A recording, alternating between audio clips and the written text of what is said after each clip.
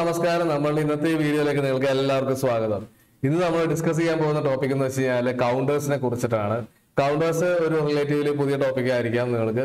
അപ്പൊ അതിന്റെ കുറച്ച് ആസ്പെക്ട്സ് നമുക്ക് അറിയേണ്ടതുണ്ട്. അപ്പൊ അത് അറിയണമെന്നുണ്ടെങ്കിൽ നമുക്ക് കുറച്ച് ഒരു ഒരു വീഡിയോ നമുക്കൊന്ന് കാണാം.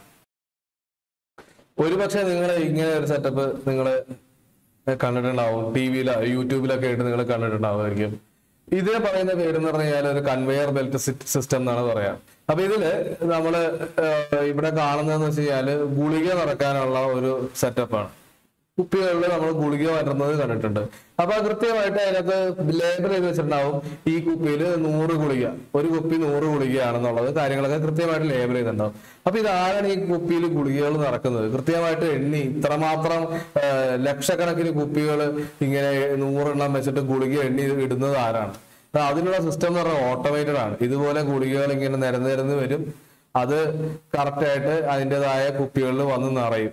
അപ്പൊ അതിന്റെ ഒരു സിസ്റ്റം ആണ് നമ്മൾ ഈ കാണുന്നത്. അപ്പൊ ഇങ്ങനെ കൗണ്ട് ചെയ്ത് നമുക്ക് ഗുളികകൾ നിറക്കാനും ഇത് മാത്രം ഇതൊരു ഒരു എക്സാമ്പിൾ അല്ലേ? ഇതുപോലെ എന്തെല്ലാം കാര്യങ്ങൾ നമ്മൾ പാക്കറ്റിലാക്കി വരുന്നു ലേസ് വരുന്നുണ്ട് അങ്ങനെ ഒരുപാട് കാര്യങ്ങൾ ഈവൻ എത്ര ട്രാഫിക് എത്ര വണ്ടികൾ സഞ്ചരിക്കുന്നുണ്ട് ഒരു ഒരു പർട്ടിക്കുലർ ജംഗ്ഷനിൽ കൂടി. അങ്ങനെയുള്ള പല ഇൻഫർമേഷനും നമ്മൾ കൗണ്ട് ചെയ്യുന്നുണ്ട് ഓട്ടോമാറ്റിക് ആയിട്ട്. അപ്പൊ ഇതിനെല്ലാം നമ്മൾ ഉപയോഗിക്കുന്ന ഒരു സിസ്റ്റത്തെ വിളിക്കുന്ന പേരാണ് കൗണ്ടർ എന്ന് പറയുന്നത്. അപ്പൊ ഇതിനെ കുറിച്ചാണ് നമ്മളിന്ന് ഡിസ്കസ് ചെയ്യാൻ പോകുന്നത്. അപ്പൊ കൗണ്ടേഴ്സുമായിട്ട് ബന്ധപ്പെട്ട് പൊതുവെ കാണുന്ന ഒരു ടെർമിനോളജിയാണ് ഫൈനൈറ്റ് സ്റ്റേറ്റ് മെഷീൻ എന്നുള്ള ഒരു ടെർമിനോളജി അപ്പൊ ഈ പേരൊന്നും കേട്ട് ഞെട്ടേണ്ട ആവശ്യമില്ല. സ്റ്റേറ്റ് എന്ന് പറഞ്ഞാൽ എന്താണെന്നുള്ളതാണ് ഇതിന്റെ അകത്തുള്ള ചോദ്യം. നമ്മൾ നേരത്തെ കണ്ട ആ എക്സാമ്പിൾ തന്നെ എടുക്കാം. അതായത് കുപ്പിയിൽ ഗുളിക നടക്കുന്നു അപ്പൊ അത് ആ ഒരു മെഷീന് ആ കുപ്പിയിൽ ഗുളിക നടക്കുന്ന മെഷീന് പല പല സ്റ്റേറ്റുകളുണ്ട് അഥവാ പല പല അവസ്ഥകളുണ്ട്. എന്താണ്? ഇരുപത്തഞ്ച് ഗുളികകൾ നടക്കണമെങ്കിൽ അതിന് ഇരുപത്തഞ്ച് അവസ്ഥകളുണ്ട്. ഇരുപത്തഞ്ച് അവസ്ഥകളുണ്ട്. എന്താണ് ആദ്യത്തെ അവസ്ഥ? ആദ്യത്തെ അവസ്ഥ കുപ്പിയിലേക്ക് ഒരു ഗുളിക മാത്രം ഇട്ടിട്ടുണ്ട്. അതാണ് ആദ്യത്തെ അവസ്ഥ. രണ്ടാമത്തെ അവസ്ഥ എന്ന് വെച്ച് കഴിഞ്ഞാൽ കുപ്പിയിൽ രണ്ട് ഗുളിക നിക്ഷേപിച്ചു. അതാണ് രണ്ടാമത്തെ അവസ്ഥ. അങ്ങനെ അങ്ങനെ അങ്ങനെ അങ്ങനെ ഇരുപത്തഞ്ച് ഗുളിക നിക്ഷേപിക്കുമ്പോൾ നിക്ഷേപിക്കുമ്പോ ഇരുപത്തഞ്ചാമത്തെ അവസ്ഥയായി. ഓക്കെ. അപ്പൊ ഈ സ്റ്റേറ്റ് അഥവാ അവസ്ഥ എന്ന് പറഞ്ഞ ഇതാണ്. അതിന്റെ എത്ര ഗുളിക ഇട്ട് ഇപ്പൊ ഈ കേസിലാണെങ്കിൽ എത്ര ഗുളിക അതിനകത്ത് ഉണ്ട് എന്നുള്ളതാണ് അതിന്റെ സ്റ്റേറ്റ് എന്ന് പറയുന്നത്. ഇതിന് ഇതിന്റെ കൂടെ ഒരു അഡീഷണൽ സ്റ്റേറ്റ് കൂടെ ഉണ്ട്. കുപ്പിയിൽ ഗുളികയില്ല എന്നുള്ള സ്റ്റേറ്റ് കൂടി ഉണ്ട്. അപ്പൊ ഈ മൊത്തം ഇരുപത്തി ആറ് സ്റ്റേറ്റ് ഉണ്ട് നമുക്ക് ഇപ്പൊ ഈ പറയുന്ന ആ ഒരു മെഷീന് അപ്പൊ അങ്ങനെ നമുക്ക് സങ്കല്പിക്കാം അപ്പൊ ഇതാണ് സ്റ്റേറ്റ് എന്ന് പറഞ്ഞാൽ ഒരു സിസ്റ്റത്തിന്റെ സ്റ്റേറ്റ് എന്ന് പറഞ്ഞു ഇതാണ്. അപ്പൊ എന്താണ് ഫൈനൈറ്റ് സ്റ്റേറ്റ് മെഷീൻ എന്ന് വെച്ച് കഴിഞ്ഞാൽ ഇപ്പൊ പറയുന്ന പോലെ ഈ അവസ്ഥകൾ കൃത്യമായിട്ട് ഇത്ര എണ്ണം എന്നുള്ള ഒരു അവസ്ഥ ഒരു സിറ്റുവേഷൻ അങ്ങനത്തെ ഒരു അവസ്ഥയിൽ വരുമ്പോഴാണ് ഫൈനൈറ്റ് സ്റ്റേറ്റ് എന്ന് പറയുന്നത്. അതായത് നമുക്കിപ്പോ ഇരുപത്തഞ്ച് ഗുളിക എത്ര ഗുളിക ചേർക്കണം എന്നുള്ളതിന് നമുക്കൊരു സ്റ്റേറ്റുകളുണ്ട് ഇത്ര ഇത്ര ഇത്ര സ്റ്റേറ്റുകളുണ്ട് അതുകൊണ്ടാണ് ഫൈനൈറ്റ് ഉണ്ട് ഫൈനൈറ്റ് ആണെന്ന് പറയുന്നത് അല്ലെ? നമുക്ക് ഇരുപത്തി ആറ് സ്റ്റേറ്റ് നമുക്ക് ഈ പറയുന്ന ഇരുപത്തഞ്ച് ഗുളിക നടക്കുന്ന ആ ഒരു മെഷീനേ ഉള്ളൂ ഇരുപത്തി ആറ് സ്റ്റേറ്റ് അപ്പൊ അതാണ് ഫൈനൈറ്റ് എന്നൊക്കെ വിളിക്കാൻ കാരണം. അപ്പൊ number of states is finite അതുകൊണ്ടാണ്. ഇൻഫിനിറ്റ് സ്റ്റേറ്റ്സ് ഉണ്ടെങ്കിൽ ഇൻഫിനിറ്റ് സ്റ്റേറ്റ് മെഷീൻ എന്ന് വിളിക്കേണ്ടി വരും. ഇതിപ്പോ ഫൈനൈറ്റ് ആണ്. അത്രേ ഉള്ളൂ. അപ്പോ അത് തന്നെ രണ്ട് ടൈപ്പ് ഉണ്ട്. മൂർ മെഷീനും മീലി മെഷീനും ഇപ്പൊ എന്താണ് മൂർ മെഷീൻ നമ്മളുടെ മെഷീന്റെ അകത്ത് നമ്മളുടെ ഈ ഗുളിക നടക്കുന്ന മെഷീനിൽ ആകെ ഇരുപത്തഞ്ച് ഗുളിക മാത്രം നിറച്ചാൽ മതി എന്നുണ്ടെങ്കിൽ അതിനെ വിളിക്കുന്ന പേരാണ് മൂർ മെഷീൻ പക്ഷേ നമ്മൾക്ക് ഒരു കണ്ടീഷൻ വരികയാണ്. അതായത് ചിലപ്പോ എനിക്ക് ഡിമാൻഡ് ഉള്ള അനുസരിച്ചിട്ട് ചിലപ്പോ ചെറിയ കുപ്പി അതായത് ഇരുപത്തഞ്ച് ഗുളികയുള്ള കുപ്പി ആയിരിക്കും എനിക്ക് നടക്കേണ്ടി വരിക. അല്ലെങ്കിൽ ചിലപ്പോ നൂറ് ഗുളികയുള്ള കുപ്പി ആയിരിക്കും നടക്കേണ്ടി വരിക. അപ്പൊ അങ്ങനെ ഉണ്ടെങ്കിൽ ഞാനൊരു സ്വിച്ച് ഇടും. ആ സ്വിച്ച് ഓൺ ചെയ്ത് കഴിഞ്ഞാൽ ഇരുപത്തഞ്ച് ഗുളിക മാത്രം നിറയുള്ളൂ കുപ്പിയിൽ ഇനി ആ സ്വിച്ച് നേരെ തിരിച്ചിട്ട് കഴിഞ്ഞാൽ നൂറ് ഗുളിക വീതം നിറയാം നിറയും. ആ കുപ്പിയിൽ. അപ്പൊ അങ്ങനെ നമ്മൾ ഒരു ഇൻപുട്ടും കൂടി കൊടുക്കുകയാണെങ്കിൽ ആ ഇൻപുട്ടിനെ ആസ്പദമാക്കിയിട്ടാണ് നമ്മുടെ ഈ പ്രവൃത്തി മൊത്തം അല്ലെ? അപ്പൊ ഇതിന്റെ സ്റ്റേറ്റ് എന്ന് പറഞ്ഞാൽ നമ്പർ ഓഫ് സ്റ്റേറ്റ്സ് മാറി. നമ്പർ ഓഫ് സ്റ്റേറ്റ്സിനെ സ്റ്റേറ്റ്സ് എന്തിനെ ഡിപ്പെൻഡ് ചെയ്യുന്നുണ്ട്? നമ്മുടെ ഇൻപുട്ടിനെയും കൂടി ഡിപ്പെൻഡ് ചെയ്യുന്നുണ്ട് അല്ലെ? സ്റ്റേറ്റുകൾ ഇൻപുട്ടിനെയും കൂടി ഡിപ്പെൻഡ് ചെയ്യുന്നുണ്ട്. അപ്പൊ എന്തുകൊണ്ടാണ്? കാരണം നമ്മൾ പറയാണ് ഇരുപത്തഞ്ച് സ്റ്റേറ്റ് ഇരുപത്തഞ്ച് ഗുളികയാണ് നടക്കണ്ടെങ്കിൽ നമ്മൾ ആ ഒരു കോൺഫിഗറേഷനിലേക്ക് പോകണം.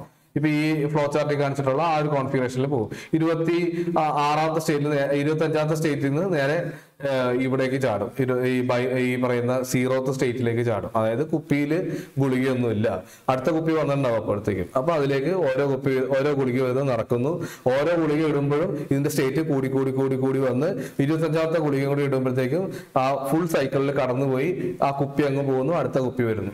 അപ്പൊ ഇത് തന്നെ ചിലപ്പോൾ ഒരു പക്ഷേ നമ്മൾ അമ്പത് കുപ്പിയുടെ സെറ്റിംഗ്സിലേക്ക് അല്ലെങ്കിൽ നൂറ് കുപ്പിയുടെ സെറ്റിംഗ്സിലേക്ക് ഇട്ട് കഴിഞ്ഞാൽ ഈ സ്റ്റേറ്റുകൾ മാറും അല്ലെ? ഇരുപത്തഞ്ചും കഴിഞ്ഞ് ഇരുപത്തി ആറ് ഇരുപത്തി ഏഴ് ഇരുപത്തെട്ട് അമ്പത് നൂറ് വരെ എത്തിയതിനു ശേഷമേ കുപ്പി അങ്ങോട്ട് മാറുള്ളൂ.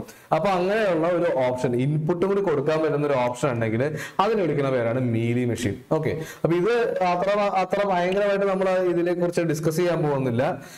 നമുക്ക് കൗണ്ടേഴ്സിന്റെ ബാക്കിയുള്ള ആസ്പെക്റ്റിലേക്ക് കിടക്കാം. അപ്പൊ ഇതാണ് രണ്ട് ടൈപ്പ് കൗണ്ടേഴ്സ് നമുക്ക് പഠിക്കാനുള്ളത്. സിങ്ക്രോണസ് കൗണ്ടേഴ്സും ഉണ്ട് നമുക്ക് സിങ്ക്രോണസ് കൗണ്ടേഴ്സും ഉണ്ട്. അപ്പൊ അസിങ്ക്രോണസ് കൗണ്ടേഴ്സിനെ വിളിക്കുന്ന ഒരു മറ്റൊരു പേരാണ് റിപ്പിൾ കൗണ്ടർ ഇതിനകത്ത് മെയിൻലി നമുക്ക് പഠിക്കാനായിട്ട് അപ് കൗണ്ടർ ഉണ്ട് ഡൗൺ കൗണ്ടർ ഉണ്ട് അപ് ഡൗൺ കൗണ്ടർ ഉണ്ട്. ഇതേപോലെ തന്നെ സിങ്ക്രോണസ് കൗണ്ടറിലും ഉണ്ട്. Up counter down counter up down counter അങ്ങനെ കുറെ കൗണ്ടേഴ്സ് ഉണ്ട് നമുക്ക്. ഇതൊക്കെ നമുക്ക് പഠിക്കാനുള്ള കൗണ്ടേഴ്സ് ഒക്കെയാണ്. അതുകൊണ്ട് ഞാൻ ലിസ്റ്റ് ചെയ്തിട്ടുണ്ട്. അപ്പോൾ ഇനി എന്താണ് ഈ സിങ്ക്രോണസ് അസിങ്ക്രോണസ് എന്നൊക്കെ പറഞ്ഞാലും? അസിങ്ക്രോണസ് എന്ന് പറഞ്ഞു കഴിഞ്ഞാൽ ഇതിലെ ഈ കൗണ്ടേഴ്സ് എല്ലാം ഉണ്ടാക്കിയിട്ടുള്ളത് ഫ്ലിപ്പ് ഫ്ലോപ്സ് വെച്ചിട്ടാണ്. ഫ്ലിപ്പ് ഫ്ലോപ്സിന്റെ അകത്ത് നമ്മൾ ഈ പറഞ്ഞ ഡിജിറ്റൽ ഡാറ്റ സ്റ്റോർ ചെയ്യുന്ന ഒരു മീഡിയ ആണ് ഫ്ലിപ്പ് ഫ്ലോപ്പ് നമുക്കറിയാം. ഒരു ഫ്ലിപ്പ് ഫ്ലോപ്പിൽ ഒരു ബിറ്റ് ആണ് സ്റ്റോർ ചെയ്യുക. നമ്മൾ ഇതിന്റെ ആപ്ലിക്കേഷൻസ് ഇതിന് മുന്നേ പഠിച്ചത് രജിസ്റ്റർ ആയിട്ട് ഉപയോഗിക്കാം ഡാറ്റ സ്റ്റോറേജിന് വേണ്ടിയിട്ട്. രണ്ടാമത്തെ ആപ്ലിക്കേഷൻ ആണ് ഈ കൗണ്ടർ എന്ന് പറയുന്ന ആപ്ലിക്കേഷൻ അപ്പൊ ഇതിന്റെ അകത്ത് നമുക്ക് എന്താണ്? നമുക്ക് ഇപ്പോഴത്തെ സ്റ്റേറ്റ് എന്താണ്? ഒരു സിസ്റ്റത്തിന്റെ ഇപ്പോഴത്തെ സ്റ്റേറ്റ് എന്താണെന്നുള്ളത് കൗണ്ട് ചെയ്യാൻ വേണ്ടിയിട്ട് ഉപയോഗിക്കാം. ഇപ്പൊ നേരത്തെ കണ്ട ആ മെഷീന്റെ സ്റ്റേറ്റ് ആണെങ്കിൽ ഇരുപത്തഞ്ച് ഗുളിക നടക്കുന്നതിന് വേണ്ടിയിട്ട് ഇരുപത്തി ആറ് സ്റ്റേറ്റ്സ് നമുക്ക് ആവശ്യമുണ്ട് അല്ലെ? ഗുളിക ഇല്ലാത്ത അവസ്ഥ പിന്നെ ഒന്നാമത്തെ ഗുളിക രണ്ടാമത്തെ ഗുളിക മൂന്നാമത്തെ ഗുളിക ഓരോ ഗുളികകൾ ഉള്ളത് ഓരോ അവസ്ഥകളാണ്. അപ്പൊ ആ അവസ്ഥനെ സൂചിപ്പിക്കുന്ന ഒരു നമ്പറിനെ നമുക്ക് സ്റ്റോർ ചെയ്യാൻ വേണ്ടിയിട്ട് ഒരു സെറ്റ് ഓഫ് ഫ്ലിപ്പ് ഫ്ലോപ്സ് ആവശ്യമുണ്ട്. ഒരു പ്രത്യേക രീതിയിൽ അറേഞ്ച് ചെയ്തിട്ടുള്ള ഫ്ലിപ്പ് ഫ്ലോപ്സ് ആവശ്യമുണ്ട്. അപ്പൊ ആ ഒരു അറേഞ്ച്മെന്റ് തന്നെയാണ് ഈ കൗണ്ടർ എന്ന് പറയുന്നത്. അപ്പൊ ആ ഫ്ലിപ്പ് ഫ്ലോപ്പുകളിൽ നമുക്ക് എന്തായാലും ഫ്ലിപ്പ് ഫ്ലോപ്പർ പ്രവർത്തിക്കണമെങ്കിൽ ക്ലോക്ക് വേണം. അപ്പൊ എല്ലാ ഫ്ലിപ്പ് ഫ്ലോപ്സിലേക്കും ക്ലോക്ക് വരുന്നില്ല. ഒറ്റ ക്ലോക്ക് അല്ല വരുന്നത്. കോമൺ ആയിട്ടുള്ള ഒരു ക്ലോക്ക് അല്ല വരുന്നതെങ്കിൽ അതിനെ വിളിക്കുന്ന പേരാണ് അസിങ്ക്രോണസ് ചിലപ്പോൾ കൺഫ്യൂഷൻ ഉണ്ടാവും പക്ഷേ ഈ കൺഫ്യൂഷൻ മാറും. നമ്മൾ ഇതിന്റെ ഓരോ ടൈപ്പിലേക്ക് കടക്കുമ്പോൾ എന്താണ് സിങ്ക്രോണസ് കൗണ്ടർ എന്ന് പറഞ്ഞാൽ? സിങ്ക്രോണസ് കൗണ്ടർ എന്ന് പറഞ്ഞാൽ നമ്മൾ ഈ കേസിലുള്ള ഫ്ലിപ്പ് ഫ്ലോപ്പുകൾ എല്ലാവർക്കും എല്ലാവർക്കും ഒരേ ക്ലോക്ക് ആയിരിക്കും കൊടുക്കുക. ക്ലോക്കിന്റെ കാര്യത്തിൽ എല്ലാവരും സെയിം ക്ലോക്ക് ആയിരിക്കും ഉപയോഗിക്കുക.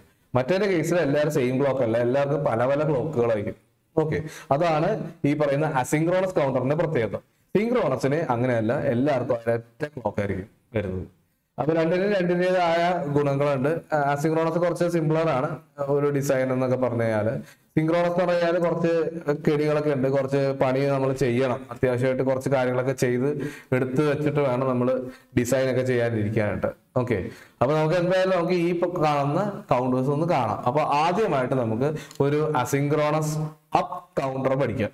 അപ്പൊ എന്താണ് ഈ അസിങ്ക്രോണസ് അപ്പ് കൗണ്ടർ എന്ന് വെച്ച് കഴിഞ്ഞാൽ ഈ കൗണ്ടറിന് നാല് ഔട്ട്പുട്ട് ഉണ്ട്. ഇപ്പൊ ഇത് ഇതൊരു ഫോർ ബിറ്റ് കൗണ്ടർ ആണ്. കാരണം എന്താണ്? നാല് ഫ്ലിപ്പ് ഫ്ലോപ്സ് ഉണ്ട് ഇവിടെ. ഒന്ന് രണ്ട് മൂന്ന് നാല്. നാല് ഫ്ലിപ്പ് ഫ്ലോപ്സ് ഉണ്ട്. ആ നാല് ഫ്ലിപ്പ് ഫ്ലോപ്പിന്റെ ഔട്ട്പുട്ട് ആണ് Q A Q B Q C Q D okay അപ്പൊ ഇങ്ങനെ നമുക്ക് ഔട്ട്പുട്ട് കിടപ്പുണ്ട്. ഇതിന് ഞാൻ നേരത്തെ പറഞ്ഞ പോലെ തന്നെ അസിങ്ക്രോണസ് ആണെന്ന് പറയാൻ കാരണം ക്ലോക്ക് ഇവിടെ വന്നിട്ടുണ്ട്. ഈ ക്ലോക്ക് അല്ല അടുത്തതിന്റെ ക്ലോക്ക് അല്ലെ? അടുത്തതിന് ക്ലോക്ക് കൊടുത്തേക്കണ എവിടെ നിന്നാണ് തൊട്ട് മുന്നത്തെ സ്റ്റേറ്റിന്റെ സ്റ്റേജിന്റെ ക്യൂബാർ എടുത്തിട്ടാണ് കൊടുത്തിട്ടുള്ളത്. ഓക്കെ. അടുത്തതിന്റെ ഒക്കെ ക്ലോക്ക് എന്താണ്? അതിന് തൊട്ട് മുന്നത്തെ സ്റ്റേജിന്റെ ക്യൂബാർ എടുത്ത് കൊടുത്തിട്ടുണ്ട്. ഇതിന്റെ ക്ലോക്ക് എന്താണ്? അതിന് മുന്നത്തെ സ്റ്റേജിന്റെ ക്യൂബാർ എടുത്ത് കൊടുത്തിട്ടുണ്ട്. ഇങ്ങനെയാണ് ഇത് കൊടുത്തിട്ടുള്ളത്. അതുകൊണ്ടാണ് ഇതിന് എന്ത്? അസിങ്ക്രോണസ് വിളിക്കാൻ കാരണം. ക്ലോക്ക് ഓരോരുത്തർക്കും വ്യത്യസ്തമാണ് എന്നുള്ളത് കൊണ്ടാണ് ഇതിനെ അസിങ്ക്രോണസ് എന്ന് വിളിക്കാൻ കാരണം. അപ്പൊ ഇനി നമുക്ക് ഏകദേശം ഒരു ധാരണ കിട്ടിയിട്ടുണ്ട്. എങ്ങനെയാണ് ഇതിന്റെ സർക്യൂട്ട് ഇരിക്കണെന്നുള്ളത് അല്ലെ? ഇതൊരു ടോഗൾ ഫ്ലിപ്പ് ഫ്ലോപ്പ് ആണ് അല്ലെ? ടി ടി ഇൻപുട്ട് ആണ് കൊടുത്തേക്കുന്നത് ടോഗൾ ഫ്ലിപ്പ് ഫ്ലോപ്പ് ആണ്. ആ ടോഗൾ ഫ്ലിപ്പ് ഫ്ലോപ്പിന്റെ ആ ടോഗൾ ഇൻപുട്ട് ഞാൻ ലോജിക് ഹൈയിൽ കൊടുത്തു കഴിഞ്ഞാൽ ഇതിന്റെ ഔട്ട്പുട്ട് സ്റ്റേറ്റ് ടോഗൾ ചെയ്തുകൊണ്ടിരിക്കും എന്തിനനുസരിച്ച് ക്ലോക്ക് വരുന്ന ഓരോ ക്ലോക്ക് വരുമ്പോഴും ഇത് ഹൈ ആകും അടുത്ത ക്ലോക്ക് പൾസിൽ ഇത് ലോ ആകും പിന്നെ ഹൈ ആകും പിന്നെ ലോ ആകും. അങ്ങനെയാണ് ഇതിന്റെ ഔട്ട്പുട്ട് വരാൻ പോകുന്നത്. ഓക്കെ ഓരോ ക്ലോക്ക് പൾസും അനുസരിച്ചിട്ട് ഇതിന്റെ ഔട്ട്പുട്ട് മാറി മറിഞ്ഞു high zero high zero high low high low എന്ന് പറഞ്ഞിട്ട് മാറി മറിഞ്ഞും വരും. അതിനുവേണ്ടി നമ്മൾ ഇവിടെ ലോജിക് ഹൈ കണക്ട് ചെയ്യാണ്. ടോഗിൾ ഇൻപുട്ടിൽ നമ്മൾ full time logic high connect ചെയ്യുന്നു. ഓക്കെ ഇങ്ങനെ ഒരു കണക്ഷനും കൊടുത്തിട്ടുണ്ട്. ഔട്ട്പുട്ട് നമ്മൾ എല്ലാ എല്ലാത്തിൽ നിന്നുള്ളത് പുറത്തേക്ക് ടാപ്പ് ചെയ്ത് എടുത്തിട്ടുണ്ട്. ഇതാണ് നമ്മൾ എടുത്തേക്കുന്നത്. ഇതിന്റെ ആവിർഭാവം എന്ന് വെച്ച് കഴിഞ്ഞാൽ നമ്മൾ നോക്കിക്കഴിഞ്ഞാൽ ക്ലോക്ക് കൊടുക്കുമ്പോൾ ഇനീഷ്യലി ഇതിന്റെ ഔട്ട്പുട്ട് എല്ലാം സീറോ സീറോ സീറോ സീറോ എന്നായിരിക്കും. ഓക്കെ രണ്ടാമത് രണ്ടാമത് നമ്മൾ ഈ ക്ലോക്ക് അങ്ങനെ അപ്ലൈ ചെയ്യുമ്പോഴത്തേക്ക് ആദ്യത്തെ ക്ലോക്ക് അങ്ങനെ അപ്ലൈ ചെയ്യുമ്പോഴത്തേക്ക് എന്ത് വരുന്നത് വെച്ചാൽ ഈ സീറോ സീറോ സീറോ സീറോ എന്നുള്ളതിൽ സീറോ സീറോ സീറോ വൺ ആകും. പിന്നെ സീറോ സീറോ വൺ സീറോ ആകും.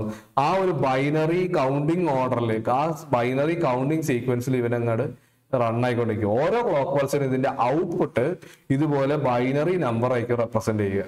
അത് പതിനഞ്ച് വരെ പോകും. പതിനഞ്ച് കഴിഞ്ഞാൽ വീണ്ടും സീറോ സീറോ സീറോ സീറോ എന്ന് പറഞ്ഞിട്ട് റീസെറ്റ് ആകും. അപ്പോൾ നമുക്ക് കാണാം. സീറോ ടു ഫിഫ്റ്റീൻ വരെയുള്ള ഡെസിമൽ നമ്പേഴ്സിനെയാണ് ഇത് റെപ്രസെന്റ് ചെയ്യുന്നത്. അപ്പൊ ഇത് ഇങ്ങനെ മുകളിലേക്ക് കൗണ്ട് ചെയ്യും. ഓരോ ക്ലോക്ക് പൾസ് വരുമ്പോൾ ഇത് മേലേക്ക് കൗണ്ട് ചെയ്യുന്നതുകൊണ്ടാണ് ഇത് അപ്പ് കൗണ്ടർ എന്ന് വിളിക്കുന്നത്. അപ്പൊ ഇത് എങ്ങനെയാണ് ഇത് ഇങ്ങനെ വർക്ക് ചെയ്യുന്നത്? ഇത് എന്തുകൊണ്ട് ഇങ്ങനെ കൗണ്ട് ചെയ്യണം? അല്ലെ?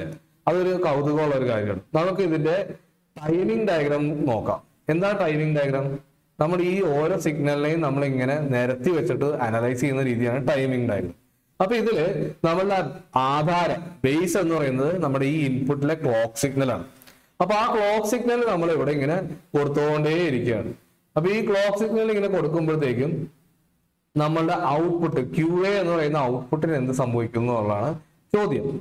അപ്പൊ നമുക്ക് നോക്കാം. ആദ്യത്തെ ക്ലോക്ക് പൾസ് വന്നു. അതിന്റെ ക്ലോക്കിന്റെ രണ്ടാമത്തെ ക്ലോക്ക് പൾസ് വരുമ്പോൾ ലീഡിങ് എഡ്ജ് വരുമ്പോഴത്തേക്കും എന്ത് പറ്റി? ക്യു എ എന്ന് പറയുന്നത് ഹൈ ആയി. ഓക്കെ കാരണം ടോഗിൾ മോഡിലാണ് അപ്പൊ ഔട്ട്പുട്ട് ഹൈ ആയി. അതിങ്ങനെ കണ്ടിന്യൂ ചെയ്തു പോകും എന്ത് പറ്റും? അടുത്ത ക്ലോക്ക് പൾസ് വരുമ്പോഴേക്കും അത് ലോ ആകും.